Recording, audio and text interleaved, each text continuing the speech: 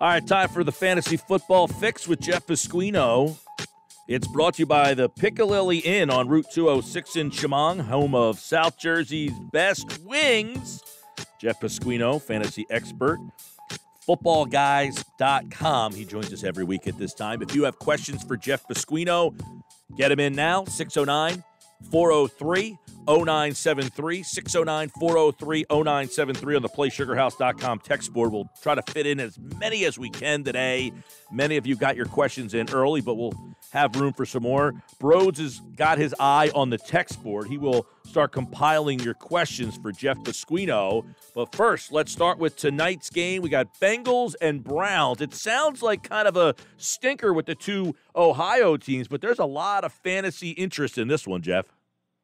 Yeah, I mean it's still the Browns, so there's a little bit of like, oh, okay, but Joe Burrows is there. So Joe Burrows is a borderline quarterback one, and he brings that running element to the, the game. So that elevates his floor, much like you get with Lamar Jackson and Patrick Mahomes. So he's viable there as a starter. Uh, running backs are more of a running back twos. You have Joe Mixon, you have Nick Chubb, and Kareem Hunt. Wide receivers, you have some wide receiver twos and threes. AJ Green, Odell Beckham Jr., Landry, and if you need to, Boyd could probably be a flex. All right, uh, that's tonight. Get your players in the lineup for the Thursday night football game. Let's get to some quarterbacks here. Let's get Jeff's opinion on Josh Allen. He went for over 300. Josh Allen, is he a QB1 now? He's a QB1 pretty much in every start now. Again, he's got the running element to his game as well he's a top five quarterback on our board this week. All right, top five quarterback Josh Allen. What about Aaron Rodgers? I know his name is big, but he wasn't great last year, but he was great on Sunday. He was, and I think he might be moving things along. Their, the running game is not in sync yet, and they had to rely on his arm, and the defense isn't in sync yet either. So Detroit put up some points last week. They should have won that game if Swift could actually catch a ball. Uh, and, but I think that you're looking at Aaron Rodgers as a top 10 quarterback this week at home against Detroit in their home opener. Okay, Cam Newton only threw the ball 15 times. He did have a monster scoring day if you get bonus points for rushing touchdowns, like I do. But can you trust Cam Newton week to week?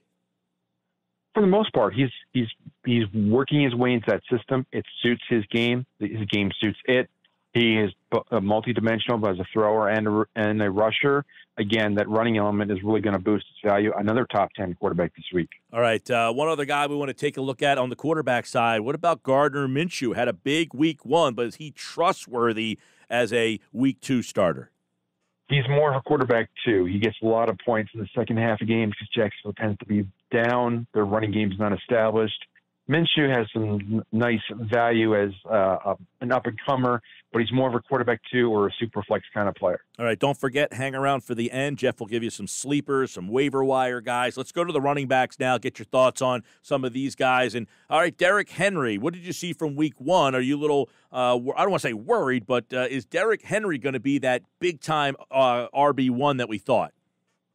Well, keep in mind he was facing a pretty good defense in Denver. Uh, they they can they can hem them in. They focused. They wanted to push that front and make them throw the ball. So Henry still got his. He's a very hard runner, and it was the first game for a lot of teams that who did not get a lot of work in the preseason. So it was kind of like the first half was kind of like their preseason. So I think he's going to be fine. This is a get right game against Jacksonville he's still a top five running back. All right, Josh Jacobs had a monster week one. Is this the Josh Jacobs we might see in week number two against New Orleans?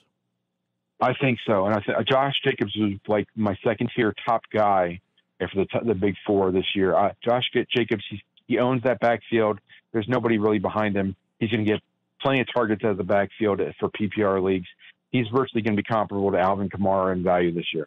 Uh, Jonathan Taylor looks like he might be the guy in Indianapolis now, although Hines had a big game last week. But with Mack out, what's the running back situation in Indianapolis?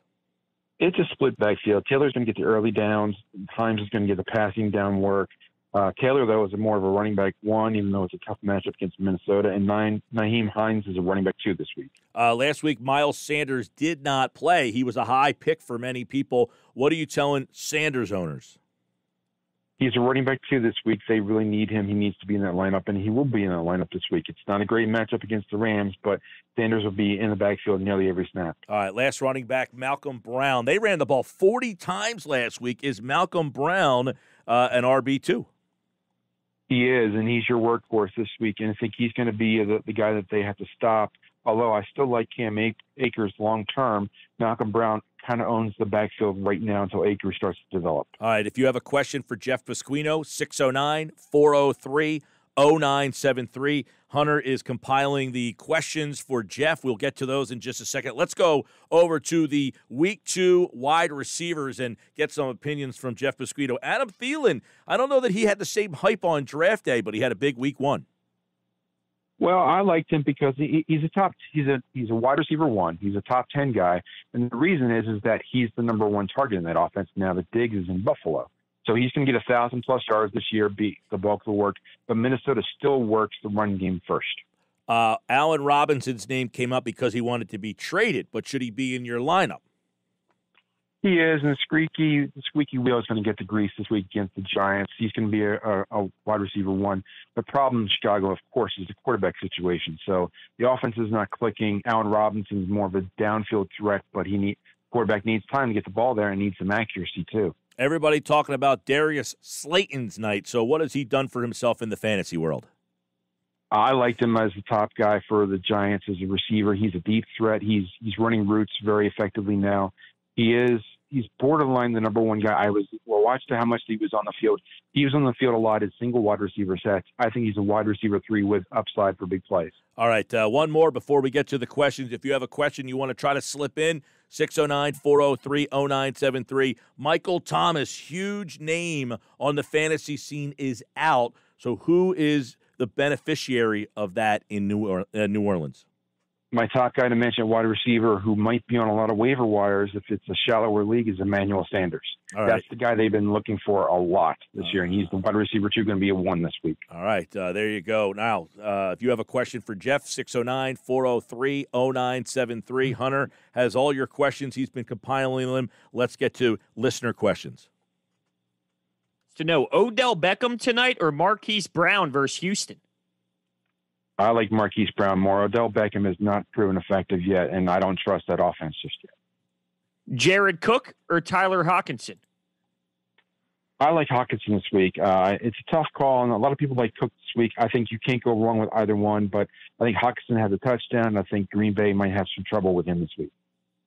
Edelman or Dobbins? Uh, I guess Dobbins, you're talking about a flex here. I would go with Edelman because he's going to be the wide receiver one in that offense. Dobbins, Baltimore is still playing musical running backs. Cole from Manahawkin wants to know Is Joshua Kelley set for a role similar to what Melvin Gordon had? Will he continue with the goal line carries, or do you see Ekeler taking over those carries as the season progresses? Kelley is the bigger back. I think he's going to get more work as the season wears on. I like his upside longer term. I would definitely stash him for now. Okay, uh, Joey D needs two wide receivers out of these: Jarvis Landry, Darius Slayton, Robbie Anderson, or Mike Williams. Uh, I would go with Slayton and Landry. All right, there you go. That's all the time we have for your questions this week. We'll do it again next week with Jeff Pasquino from thefootballguys.com. But before Jeff goes today, Jeff, who are some waiver wires, some under the radar guys who should be in lineups this week, week two?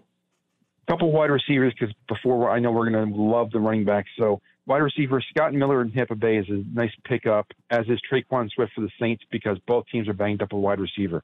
Running backs, I think this is the week. This is the get right game for Tampa Bay. They're going to want to establish the run.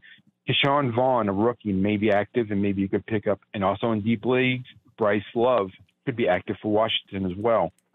Don't sleep on him. Another guy that's very deep. Myles Gaskin for Miami. Everybody was looking at Breida. Everybody was look, looking at Jordan Howard.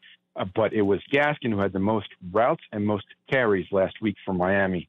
Um, also, Benny Snell was a solid. Adrian Peterson. And I think uh, James Robinson for Jacksonville until they get uh, the rest of the running backs healthy.